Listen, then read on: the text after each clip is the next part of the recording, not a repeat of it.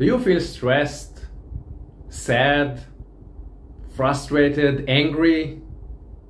School taught you about physical fitness and how important it is for your health.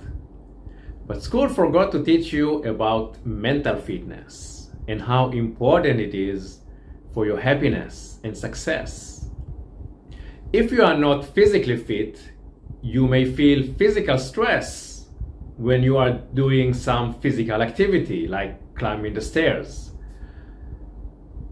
When you are not mentally fit, you will feel mental stress when you are facing challenges you may feel uh, stressed, anxiety, shame, frustration, anger. Being mentally fit means you can handle challenges with a positive rather than negative mindset.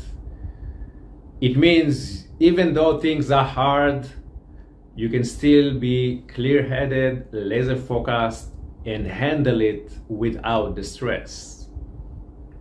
Like physical fitness, it takes time and practice to build mental fitness.